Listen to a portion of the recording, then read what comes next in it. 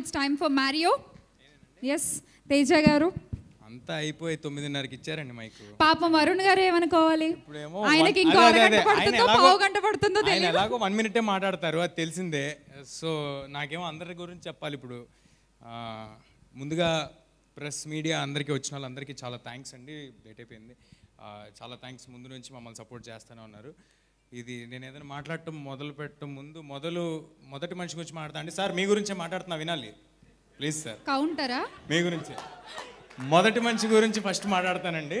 ఈ సినిమా మొదలైంది ఆయనతోనే ఎండ్ అయింది ఆయనతోనే అంటే ఏ సినిమాకైనా వేరే వేరే టెక్నీషియన్స్ కానీ ఇంకొకరు కానీ వెళ్ళి వాళ్ళ ఇన్పుట్స్ అవి ఇవ్వటం ఉంటాయి.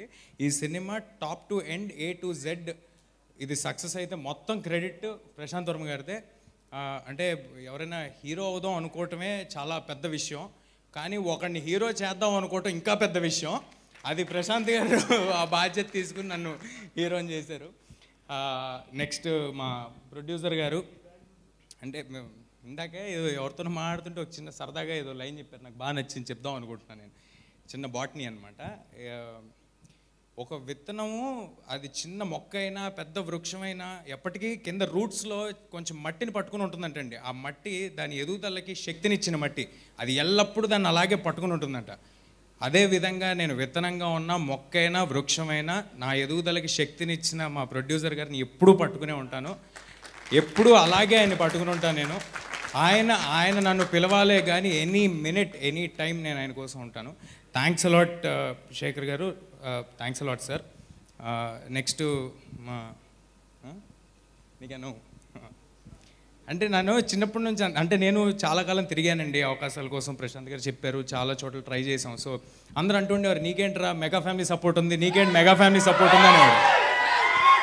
ఏంట్రా ఈ మెగా ఫ్యామిలీ సపోర్ట్ అనుకున్నా? ఇవాళ తెలిసింది మెగా ఫ్యామిలీ సపోర్ట్ అంటే ఇంత అందంగా ఉంటుంది ఆరున్నర అడుగులు ఉంటుంది ఇంత బలంగా ఉంటుంది అది సో ఆయన వచ్చి పక్కన నుంచి ఉంటే దాంతో ఒక ధైర్యం ఉంటుంది అనమాట సో చిరంజీవి గారికి కూడా చెప్పడం జరిగిందండి. సినిమా గురించి చిరంజీవి గారికి తెలుసు. ఆయన బెస్ట్ విషెస్ కన్వే చేశారు. రిలీజ్ తర్వాత కలుస్తాను. చాలా హెక్టిక్గా నడుస్తుంది uh, చిరంజీవి గారి షెడ్యూల్ సో అండ్ నెక్స్ట్ డెఫినెట్గా మా టీం అందరూ కో డైరెక్టర్ విజయ్ గారు మా ఆర్టిస్ట్ uh, సీను గారు హేమంత్ గారు కిరీటి భయ్య ఎవ్రీబడి uh, మా కెమెరామ్యాన్ అనిత్ గారు మా ఆర్ట్ డైరెక్టర్ నాగేంద్ర గారు ఆనంద్ గారు వెంకట్ గారు. వెంకట్ గారు ఈ సినిమాకి డైరెక్టర్ గారి తర్వాత అంత కష్టపడింది వెంకట్ గారు. వెంకట్ గారికి స్పెషల్ మెన్షన్ అండ్ uh, ఇంకా ఎవరైనా మర్చిపోయాను sir?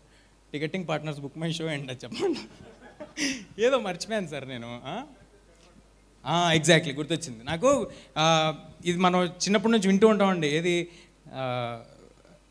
పండించే రైతుకి అన్నం ఉండదు అనేది వింటూ ఉంటాం. అలాగా తెర అంటే కెమెరా ముందు ఉన్న మేము తెర మీద కనిపిస్తూ ఉంటాం.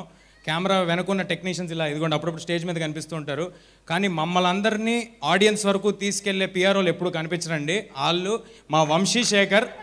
వంశన్న వంశన్న రావాలి వంశన్న రావాలి. తేజ గారు మీరు అలా చెప్పగానే ఆయన లేచి శేఖర్ అన్న రావాలి.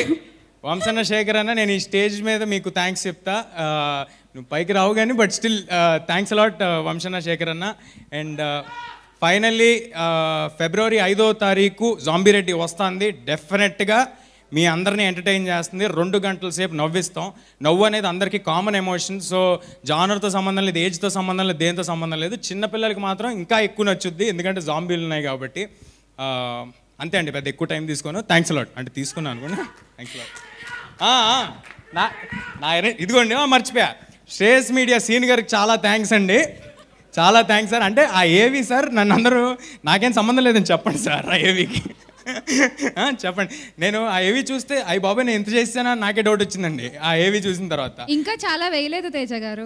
ఇంకా చాలా పెద్దవి చేశారు. ఏవి చూస్తే నాకు డౌట్ లేదు. ఆయన రాయిపించిన డైలాగులు అయ్యి సార్ షేర్ చేయండి సార్ చూసుకుంటా అప్పుడప్పుడు. ఏవి చాలా బాగుంది. ఇందాక అరిశారు దానికి నాకు సంబంధం లేదు వరుణన్న thank you and all the best Teja గారు వరుణ్ గారు